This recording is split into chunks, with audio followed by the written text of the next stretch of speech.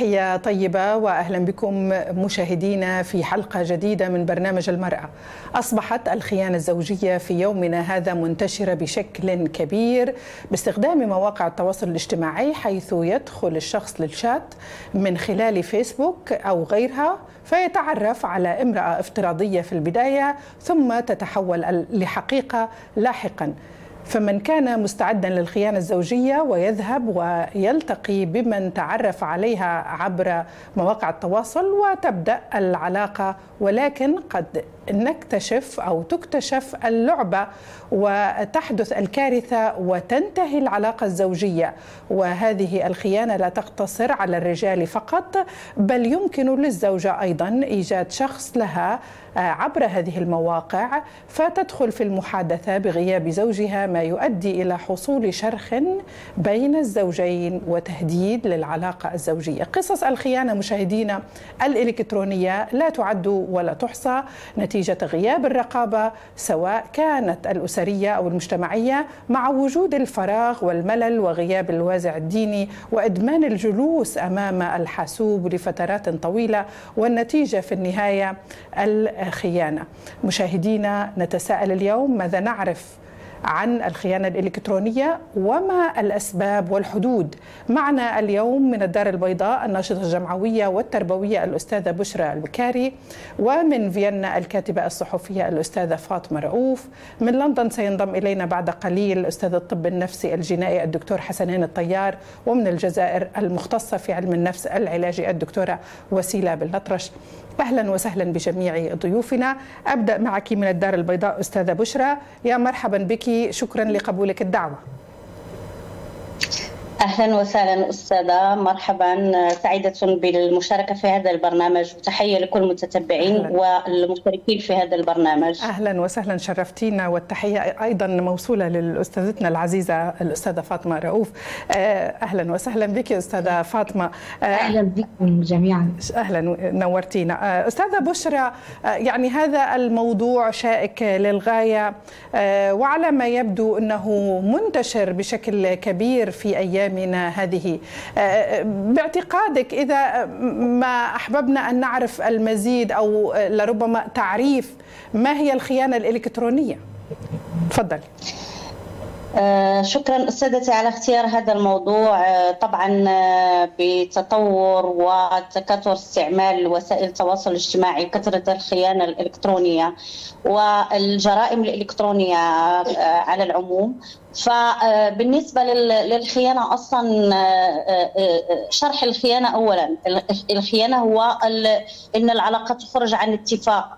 عن إطار محدد مسبقا أو محدد اجتماعيا أو عرفيا. فحينما تخرج العلاقة عن هذا عن هذا الإطار تصبح خيانة. بالنسبة للخيانة الإلكترونية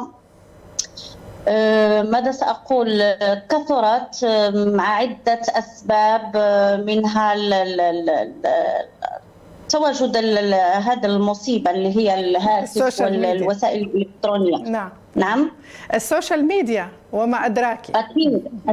أكيد ال social media وأيضا سهولة ال ال الانفتاح على على على أناس على معارف على يعني على أشياء سهلة سهلة المنال.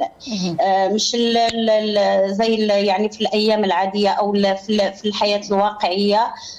تلاحظ أو حينما نريد الدخول في علاقة مثلا حتى عادية يجب اقتحام عالم آخر يجب هناك مجهود يجب هناك جرأة هناك شجاعة. لكن وأنت خلف جهاز هناك من يبيح لنفسه كل كل شيء يا بالنسبة للذكور أو بالنسبة للإناث سيان نعم. اسمحي لي أستاذة أذهب للأستاذة فاطمة رؤوف من النمسا من فيينا. أهلا وسهلا بك سيدتي.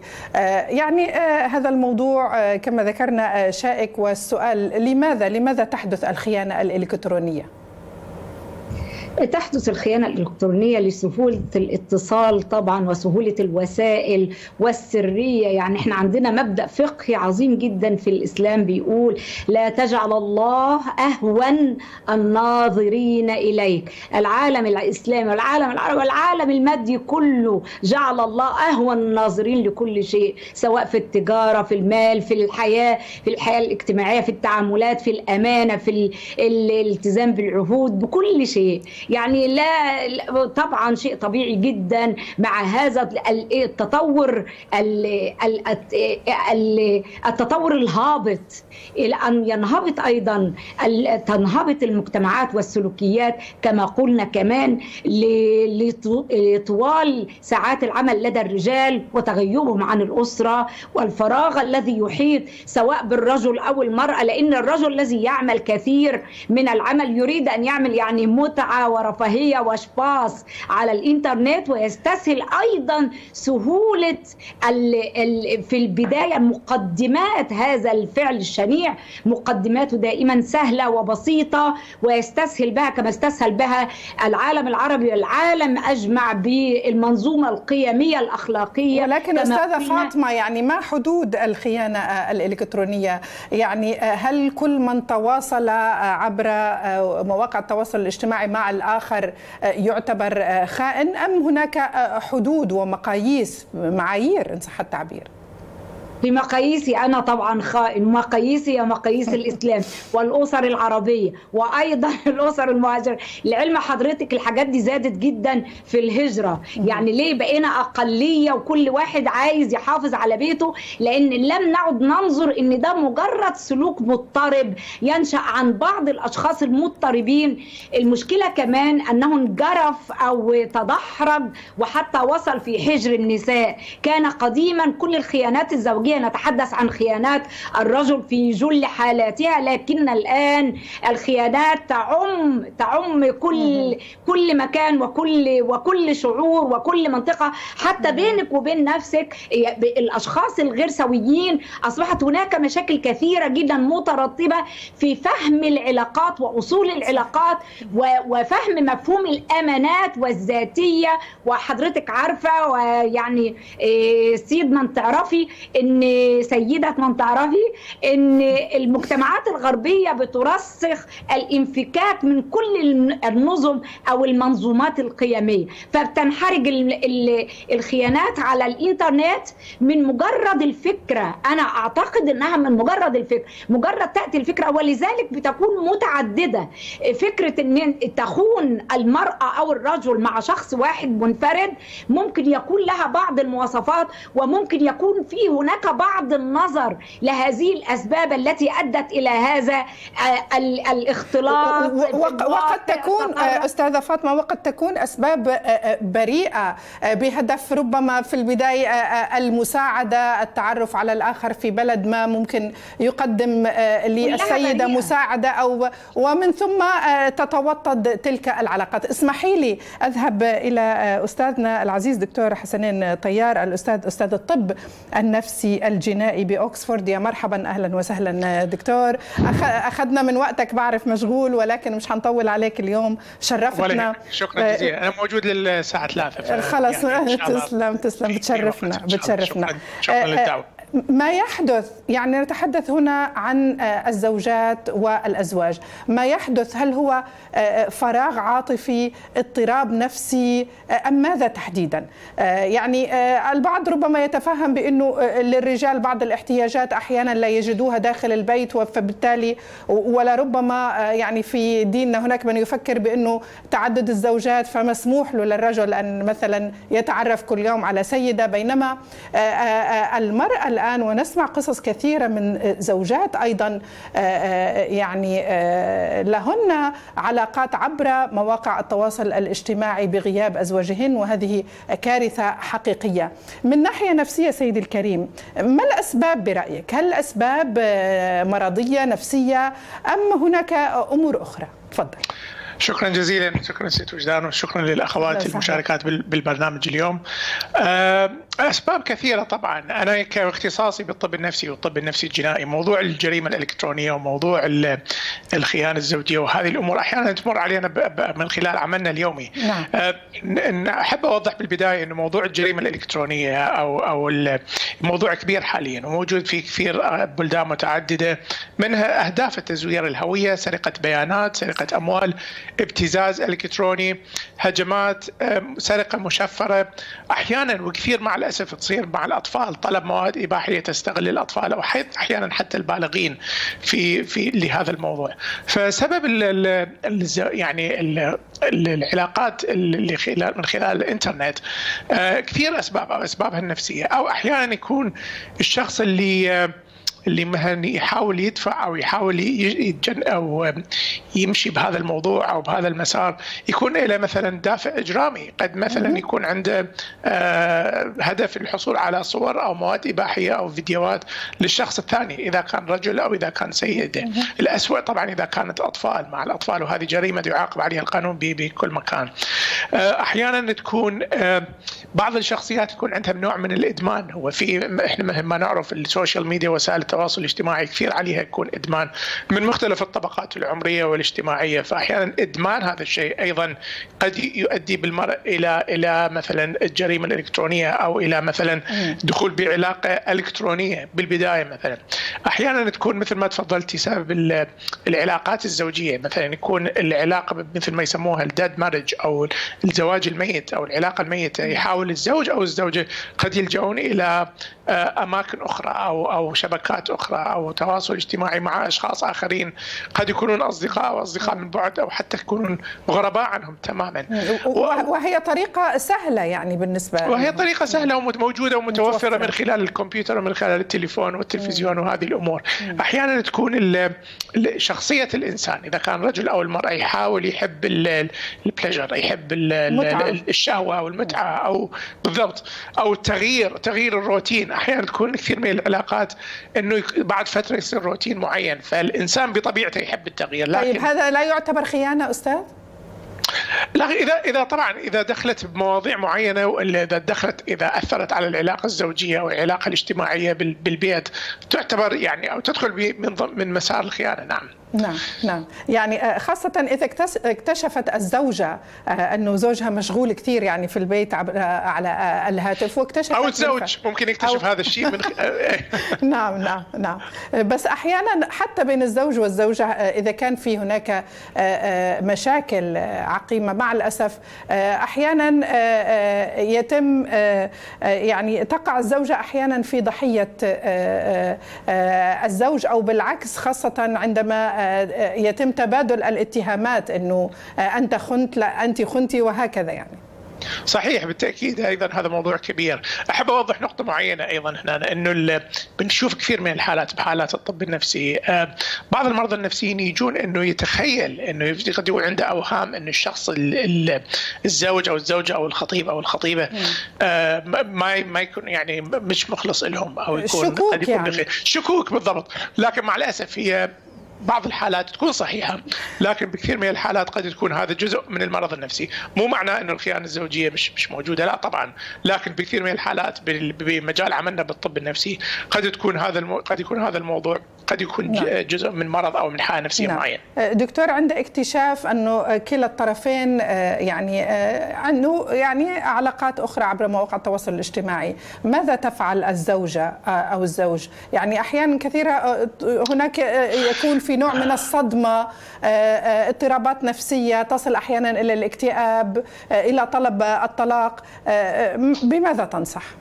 صح شكرا جزيلا. نعم هو موضوع كبير وأيضا آه، يسبب يسبب يعني ممكن اكتئاب مزمن أو أو متلازمة ما بعد الصدمة مثل ال PTSD أو ال trauma. هو حادثة صدمة يعني صدمة نفسية كبيرة.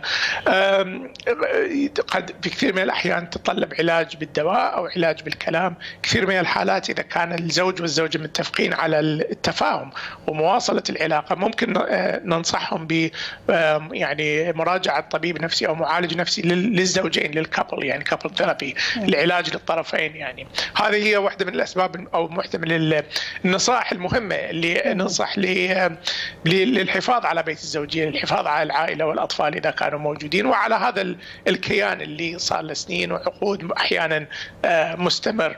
آه، واهم اهم شيء الحفاظ على الثقة. أن تبقى هناك ثقة بعد هذه الخيانة لأنه على ما يبدو هناك في آه، بعض الناس يعطون وعود بعدم تكرار هذه الخيانة ومن ثم تتكرر. جزيل الشكر لك دكتور حسنين طيار الأستاذ أستاذ الطب النفسي الجنائي باوكسفورد شكرا على هذه المداخلة. تحياتنا لك. أذهب للأستاذ. أهلا وسهلا بك. أذهب إلى الدار البيضاء مع الأستاذة بشرى. أستاذة بشرى ويعني آه، عادة عندما تحدث الصدمة آه، بسبب ما يحدث من علاقات أحيانا قد آه، لا تصل إلى الواقع. يعني تبقى في إطار يعني علاقات افتراضية إن صح التعبير.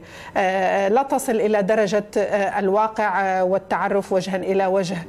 ولكن هذه بحد ذاتها تسبب أزمة حقيقية في الأسرة تهدد العلاقة بين الزوجين. يعني من هذا المنطلق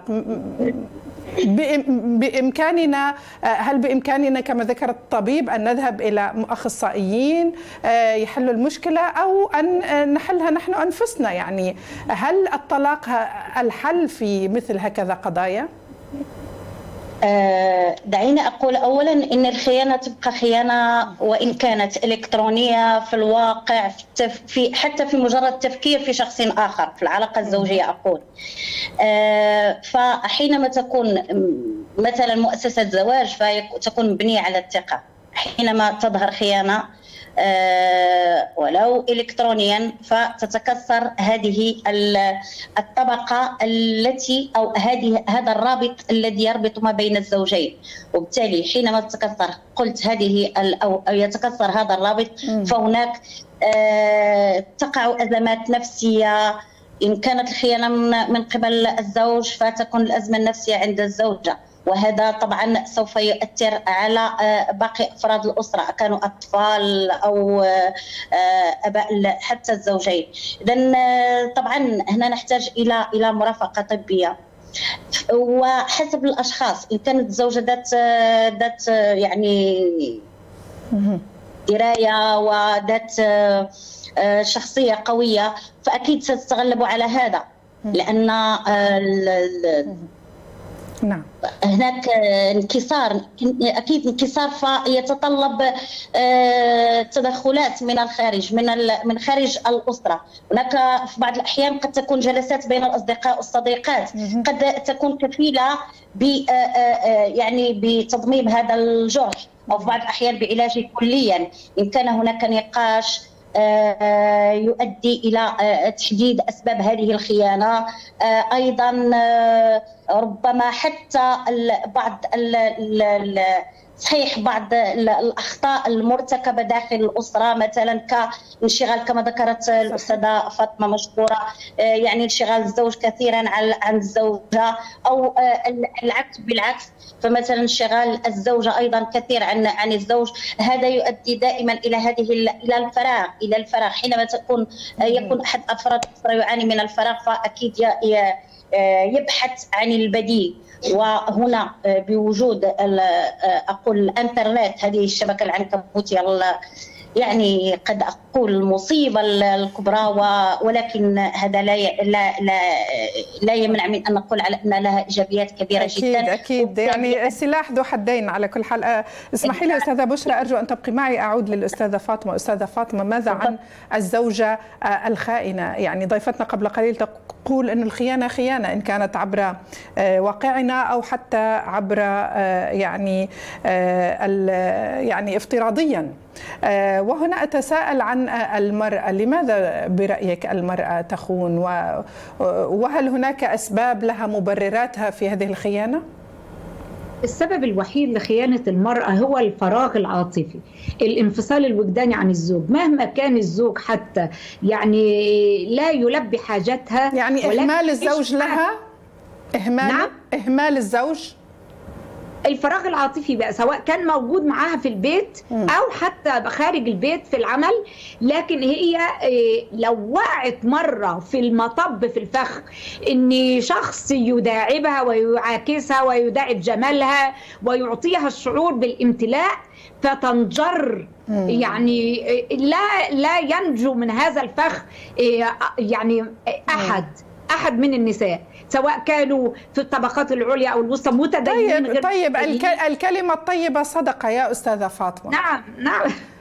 ومع الأسف عندما تكون المرأة في بيت تعنف فيه ويتم شتمها بأسوأ الألفاظ. هي قصة التعنيف دي أنا معاكي فيها والله يا أستاذة إيه دايما. آه آه يعني حتى انت بتقوليها بلفظ جميل جدا يعني التعنيف قولي العنف العنف اللفظي عدم المحاباة عدم التقدير أيضا. يعني من الأسباب الرئيسية في هذا العالم الآن أن لا الزوجة تقدر جهود الزوج في الخارج في العمل ولا الزوج يقدر جهود الزوجة في البيت حتى إذا كانت لا تعمل أو إذا كانت تعمل هناك جهود مضاعفة. صدقيني هذه هي النقطة الفاصلة حتى في كل العلاقات. عدم تقدير أو تثمين الجهود الذي يقوم به الفرد. أنت عارفة لو لو الزوج ممتن للزوجة ويتواصل معها كما قلنا ولا ومقصر في واجباته بنسبة 60% هي تتغاضى عن كل ذلك في سبيل الكلمة الطيبة كما قلت حضرتك. وأيضا هذه هي أسس الإسلام. موده ورحمة مودة. الودود الود في العلاقات الكلام مش بس يعني الخرس الزوجي الذي يسيطر على العلاقات الزوجية بمجرد الدخول من باب البيت من تاني يوم الصباحية زي ما بيقولوا بيبدأ حكاية الخرس الزوجي. وكل هذه تعاليم خارج تعاليم الأسرة المسلمة. وأود أن ألقي النظرة على الخيانة الزوجية من منظور الإسلام. يتساوى فيها الرجل والمرأة على حد سواء. هناك يعني ضرء للحدود بشكل كبير جدا حتى إذا وقعت. لا قدر الله وعفى الله جميع الأسر العربية والأسر المسلمة من هذه الجريمة الفحشاء جريمة الزنا حتى لها ضرء للحدود لها شروط متشددة جدا جدا جدا في الإسلام لدرء هذه الجريمة.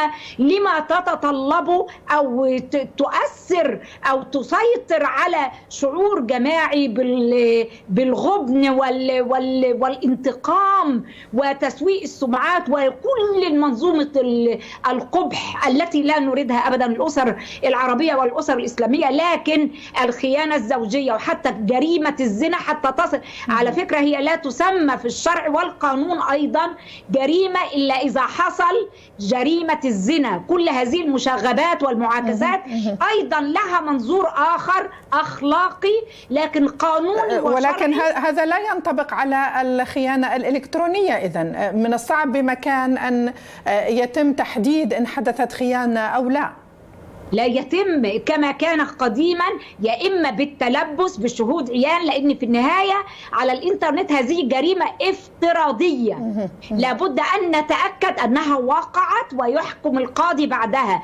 كما كانت فعل الإيه؟ الدليل المكاتيب يا إما الدليل العيان القلم في المحبرة شهود أربع شهود عيان أو المكاتيب اللي هي الرسائل استعاضنا عنها الآن بالرسائل الإلكترونية لكن المشكلة في الرسائل الإلكترونية يا أستاذة وجدان يتم تزويرها. التلاعب التلاعب التلاعب ويستطيع الزوج في بعض القضايا في مصر قضايا كبيرة جدا ومن رجال شرطة ورجال أمن كانوا بيتلاعبوا إن هم بيحضروا التليفون بتاع الزوجة ويبعتوا منه رسائل إذا أرادوا التخلص من مثلا مؤخر الصداق من سطوة هذه العائلة من أي سطوات تشويه تشويه سمعتها يعني تقع المرأة أحيانا أو الزوجة ضحية في هذا الشأن. يعني بتهمة أنه زوجها طلقها بسبب أنه كان عندها خيانات إذا كانت إلكترونية أو على أرض الواقع. الله لا يفضح من أول مرة. الخوان ولا تطع كل خوان أثيم الخائن مش هو الخوان. الخوان هو الذي يقوم بهذه العملية مرة واثنين وثلاثة. أنا أعرف العديد والعديد والمئات والآلاف الذين حكوا لي أو عن طريق أشياء أخرى وسائل أخرى سمعت وقرأت إن في خيانات كتيرة جدا بس كانت للمرة الواحدة أو مرتين أو ثلاث. لكن طول ما الإنسان عنده ضمير ولا يستسهل هذا وهذا وطبع الخيانة بيبقى طبع أصولي في الأخلاق والشخصية. يعني لا يخون إلا كل خوان اللي هو فيه طبع الخيانة أصلا سواء زوجة أو زوج. لا ي... لا ي... يعني يبرر أبدا الخيانات أي مشاكل زوجية. إحنا بنحلل ولكن لا نبرر لا يوجد أي سبب للخيانات الزوجية. يعني لا نبرر الخيانات الزوجية أستاذة فاطمة ولكن هل يعني كلامك بأنه من الصعب علاج هذه المشكلة بين الزوجين؟ لو حدثت لو اكتشف طرف من الأطراف أنه وقعت خيانة. على العكس أنا قلت لحضرتك إن الإسلام يعني ضرأ الحدود قال حط شروط جبارة لإيه؟ للسماح بالتسامح والعفو والمغفرة والصفح عن هذا إذا لم يكن هناك دليل مادي وهذا مستحيل أن يكون هناك أربعة شهود عدل يرون القلم في المحبرة. حتى لو ثلاثة والرابع على ما دخل لم يجد القلم في المحبرة تسقط الجريمة. فهذا معناه درء الفسوق ابن حزم شرح هذا الشرح الفصيح الفقيه علام الفقهاء إن الإسلام بيعطي فرصة كبيرة للصفح والعفو سواء للرجل أو المرأة على حد سواء. لكن هذا بيتبلور ويكبر ويتشدد فيه المجتمع العربي من آثار الجاهلية إن بتكون عواقب الزنا أو هذه الخيانة عواقب وخيمة على المرأة وينكل بها وتذل وتفضح على المنصات الاجتماعية. وكل هذا ليس من الشرع ولا من الإسلام ابدا لأن هناك الصفح وهذا لا هذا لا يعني إنه لا توجد خيانات من الزوجات أيضا. اسمحي لي سيدتي أعود للأستاذة بشرى. أستاذة بشرى يعني هناك من يرى إنه هذه الخيانة الإلكترونية هي جريمة وهناك من يرى إنه خصوصية. يعني نحن نسمع إلى كثير من القصص يشترط الزوج على الزوجة منذ التعارف وأثناء الخطبة قبل الزواج بإنه كل شيء يخصني هذا خاص في إلي وحدي. وأنت كذلك. يعني ما بتمسكي الموبايل أو الجوال وبتدوري فيه كل واحد له خصوصيته. هل تعتقدي هذه الطريقة ربما يستعملها بعض الرجال حتى يعني يحموا أسرارهم بعيدا عن الزوجة؟ أم أم أم هذه مسألة طبيعية ويجب أن يكون ثقة بين الأزواج؟ هو أكيد أستاذتي كل الرجال يتحججون بهذه بهذه النقطة أنها كلهم مش كلهم هلا بيزعلوا الزملاء يعني بعضهم. أعتذر أغلب أعتذر أعتذر. أغلب الرجال أغلب الذين يسلكون هذه نعم اغلب أغلب الخوانين كما قالت الأستاذة. وأغلب الخائنين نعم. يلجؤون لهذه الذريعة. لكن لكن هناك هناك مصطلح الخصوصية مختلف جدا عن المصطلح الثاني اللي هو الخيانه الخصوصية أوكي. تكلم مع صديقك كيف ما أراد تكلم مع مع في الشغل في أي شيء. بس تتكلم مع واحدة ثانية. أنت زوج ولك عيلة ولك زوجة. المفروض أن تحترمها وتحترم كرامتها ونفسيتها. وتتكلم مع واحدة ثانية وتتحرش بيها. والكلام لو تتكلم مع زميلة يعني هذه خصوصية. والله يا, يا أستاذتي حتى لو لو أحيانا الزوج يتكلم مع زميلته في العمل المرأة تغار أحيانا لربما لأنه طريقة كلامه وأسلوبه يكون لطيف بالتالي تحدث الغيرة. أجبتي أستاذتي طريقة الكلام هناك فرق بين الكلام المرأة الغيورة غيورة هذا مشكل كبير هذا لازم له حلقة واحد وحدة.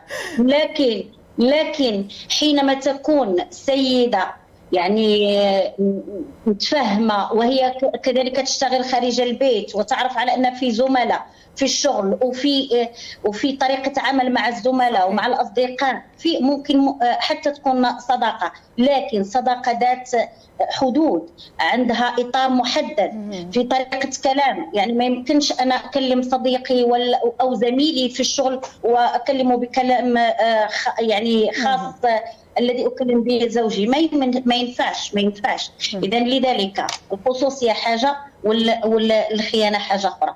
أسلوب التواصل ما بين زوج وزوجته آه، آه، عنده أسلوب خاص والتواصل مع آه، الناس الثانيين مع صديقة مع زميلة مع رفيقة مع يعني أسلوب ثاني وبالتالي لازم كل حاجة تكون في محلها. نعم. اسمحي لي أستاذ. اضيف تفضلي أضيف أستاذتي انه إنه الخيانة كما قلت سابقا الخيانة تبقى خيانة. نعم نعم. بالنسبة خصوصا نحن في الإسلام نعيب أكثر هو نعيب على الذكر كما نعيب على الأنثى ولكن الأنثى بما أنها وعاء فهي اللي كتكون يعاب عليها أكثر.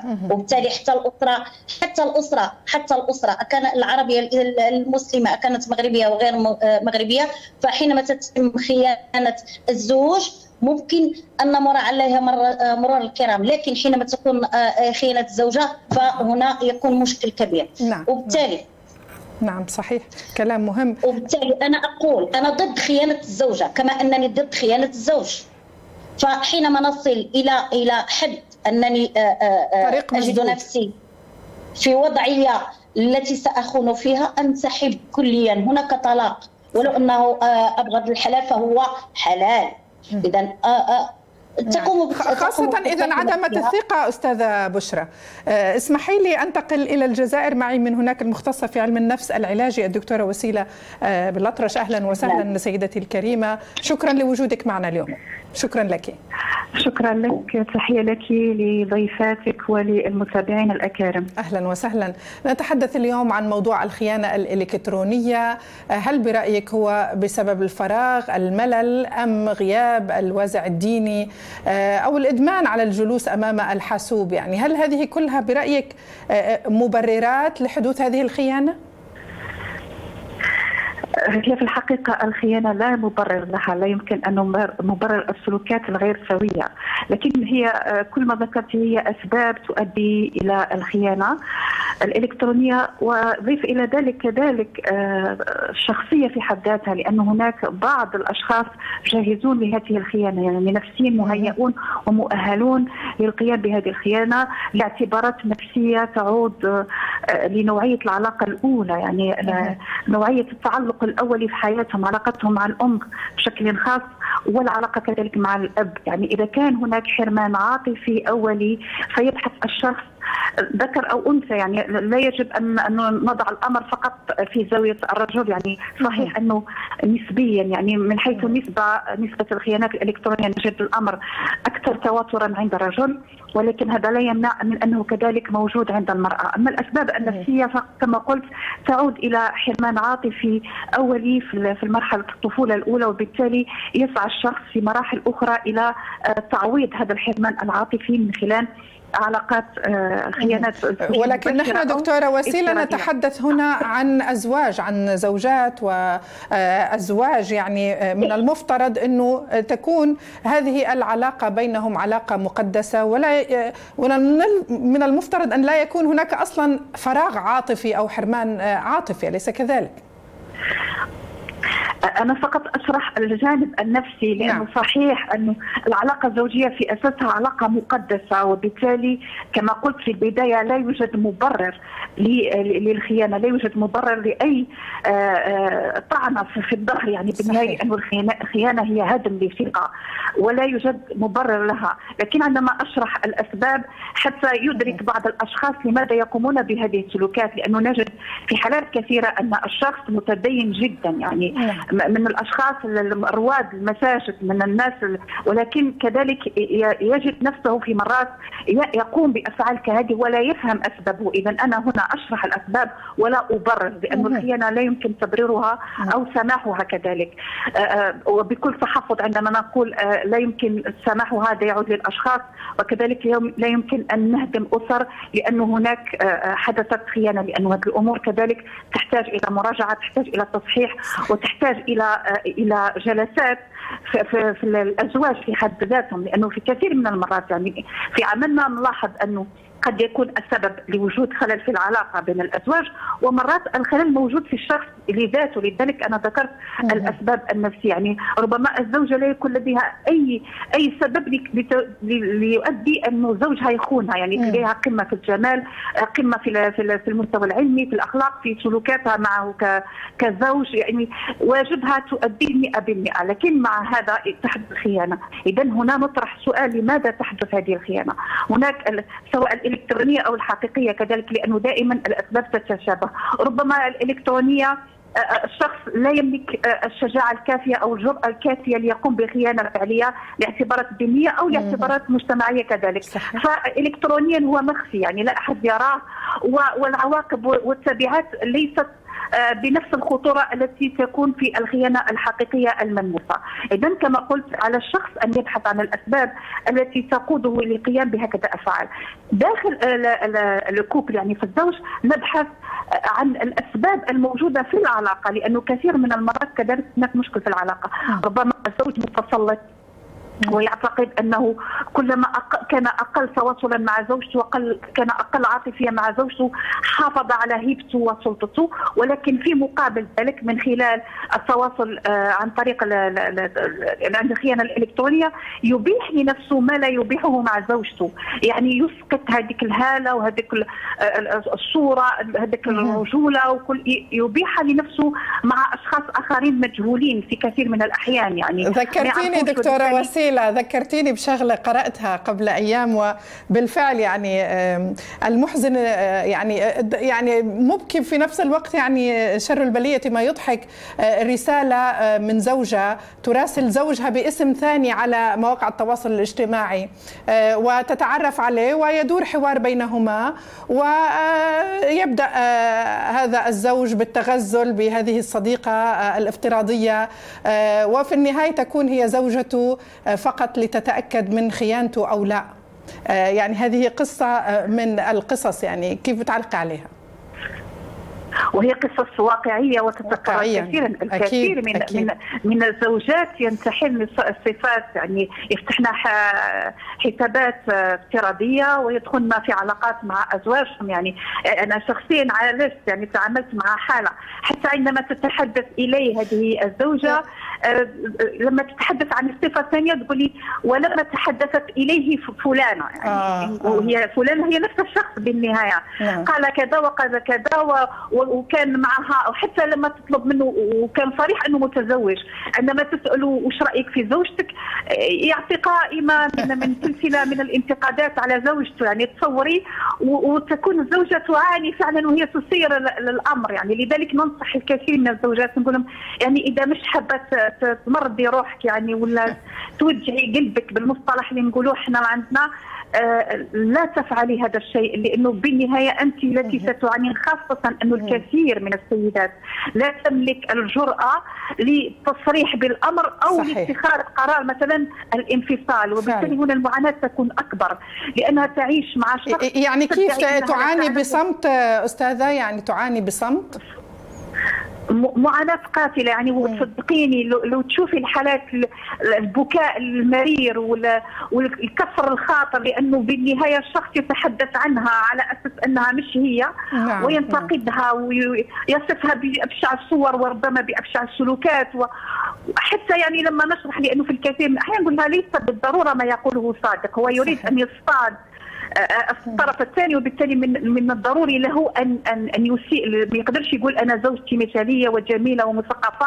لذلك قررت خيانتها لأنه الخيانة لها مبررات ولها يعني ان يقيم الحجة. ولكن دكتورة وسيلة دعينا نتحدث عن تبعات ذلك للاخوه الزملاء الرجال اللي بيسمعونا اليوم. يعني ماذا يعني أن تكتشف الزوجة خيانة زوجها لها؟ يعني أريد منك بعض التوضيحات هي ليست لا تتأثر فقط على المستوى الشخصي نفسيا ومعنويا لربما الأسرة تتدمر بأكملها. بل أكيد انه الأسرة تتدمر لأنه على الأقل في شهرين ثلاثة أشهر الأولى خاصة إذا المرأة لم تفكر في متابعة نفسية يعني سيرت الأمر لحالها يعني. أول شيء الإهمال الكلي لمتطلبات وحاجيات الأسرة لأبنائها. ربما تعنف أبنائنا. تعاملت مع حالات كانت يعني الأم تصبح عنيفة مع أولادها لأنه تنظر إلى أن وجود أولادها هو اللي راح يربطها مع هذا الشخص الذي اكتشفت خيانته. يعني تشعر أنها أصبحت مسجونة بسبب هؤلاء الأبناء وبالتالي سلوكاتها تتغير بشكل كبير. يعني قليلا ما نجد أن النساء يتعاملن ببعض الحيلة. يعني تخفي آه وهذا ليس سهل صراحة. يعني يجب أن تمتلك المرأة قوة لكي تدفن هذا الشعور ولكي تظهر هذا التحايل. وإذا كنت كما إذا جبتك يعني على سؤالك أول شيء أنه تتهدم صورة هذا الزوج. يعني صحيح. أول شيء يعني ينقص ينقص في يصغر في نظرها. مش بعد أن كان هو السند وهو الصديق وهو كل شيء في حياتها نلخصها لك في جملة. الكثير منهن تقول أصبحت أرى صورة الشيطان فيه. يا ساتر. خاصة إذا كان يتودد. يعني إذا كان مثلا يتعامل بعنف ولا ممكن تجد مبرر. أما إذا كان يتودد إليها ويحاول يجيب هدايا صحيح. أول حاجة تقول أنا أصبحت أرى صورة الشيطان فيه. إنه منافق. يعني كل صحيح. المصطلحات من هذا النوع تسقطها على هذا الزوج. ثم تصبح تتعامل معه يعني كما يعني كثير من السيدات تقول لك لقد لم أصبح بذات النية. يعني النية يعني بنفس الطيبة التي كنت أتعامل معها معه بها. الآن أكيد. أصبحت أتعامل بخبث. وبالتالي لا نية ولا رغبة. لا نية ولا رغبة. وبالتالي فقد الأساس يعني هي المودة. يعني المودة التي كانت تحمل هذه الزوجة لهذا الزوج حدث فيها شرخ كبير وبالتالي تصبح تتظاهر.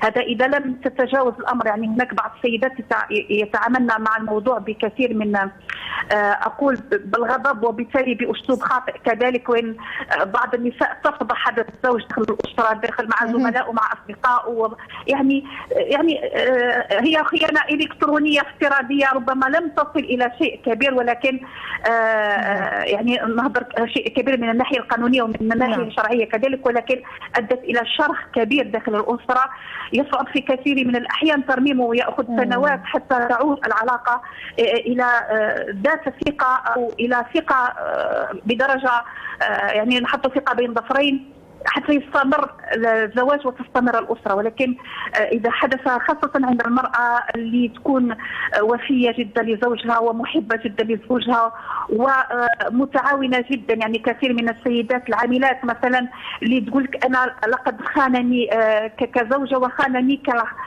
كمساعدة له كان كل راتبي للأسرة لم أفكر في نفسي لم وبالتالي هنا الألم يكون أشد مقارنه مثلا بسيدة ماكثه بالبيت طعنه هي نفسها ولكن الإحباط ربما يكون أكثر عند المرأة العاملة التي تعتبر أنها قدمت من مالها وروحها وجسدها وعواطفها في مقابل ذلك الشخص يستهين بمشاعرها.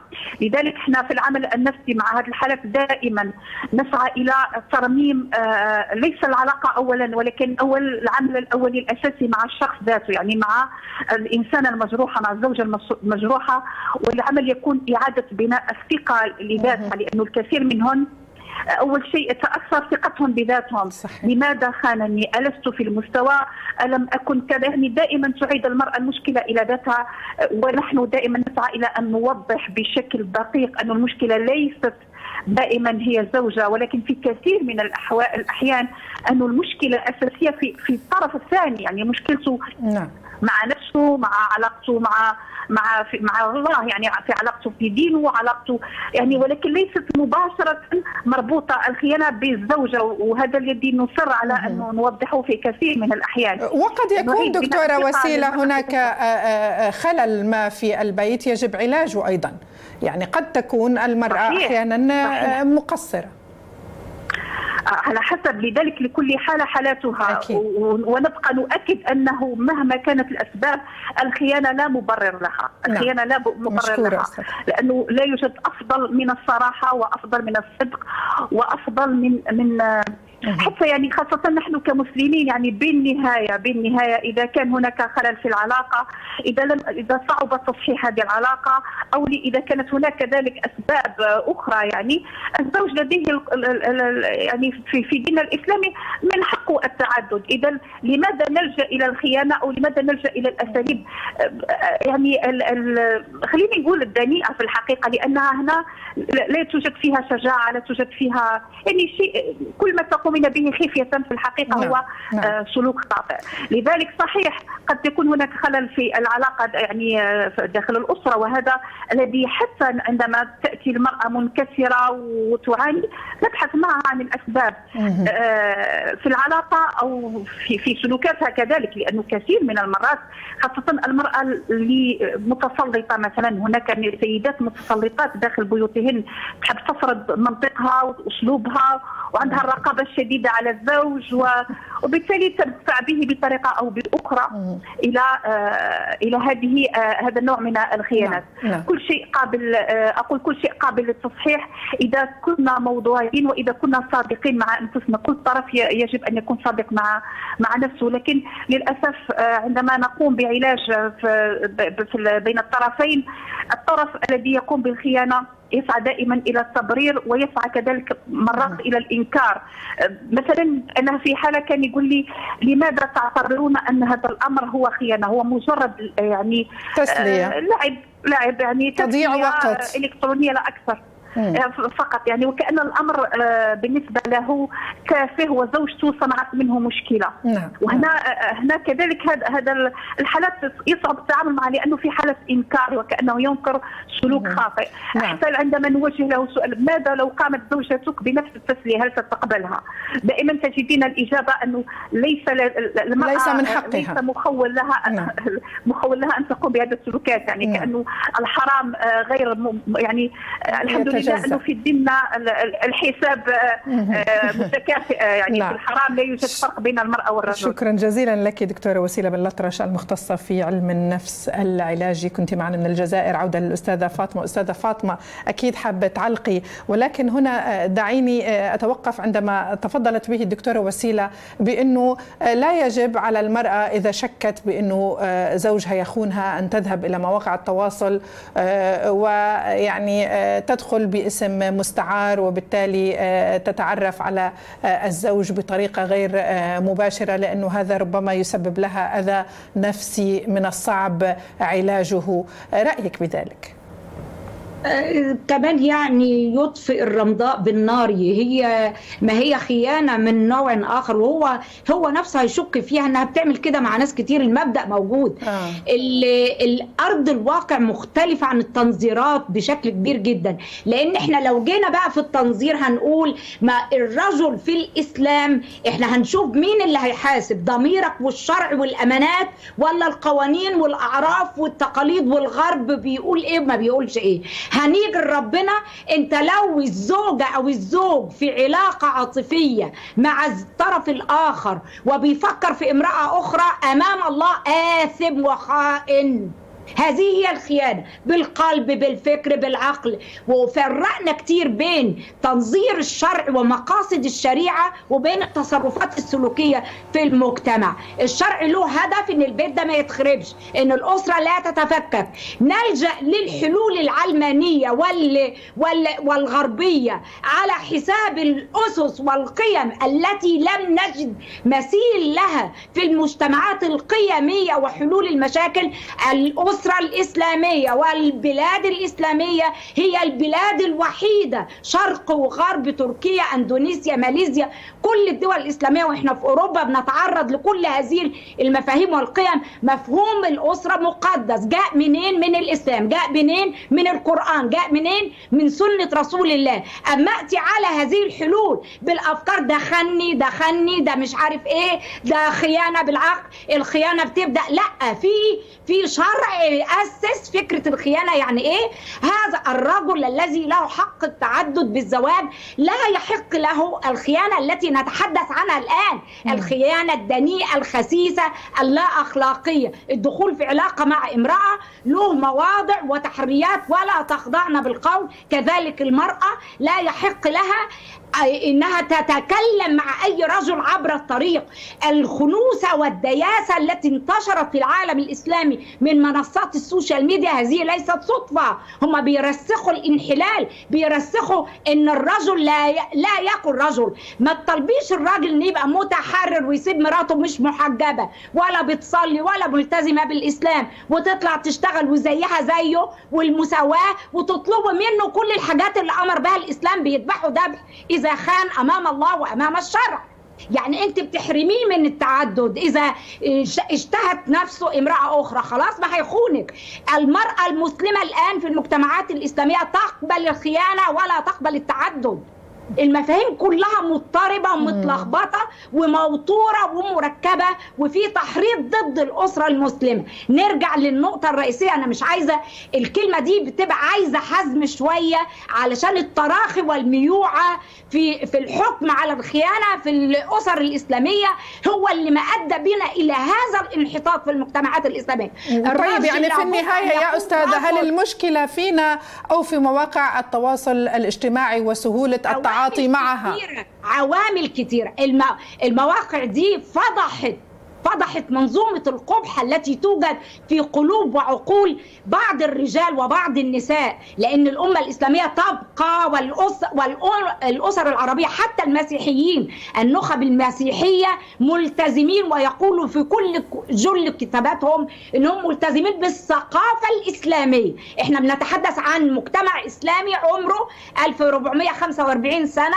اليوم هو تاسعاء وغدا عاشوراء كل عام وأنتم, كل عام وأنتم بألف خير. الله اللهم نجي الأمة الإسلامية والأمة العربية ونجي العالم كله كما نجى سيدنا موسى كليم الله في هذا شكرا. اليوم المبارك غدا إن شاء الله. شكرا كل عام وأنتم بخير. نتحدث عن النقطة الرئيسية يا أستاذة بعجالة لأن الوقت يداهمنا أستاذة.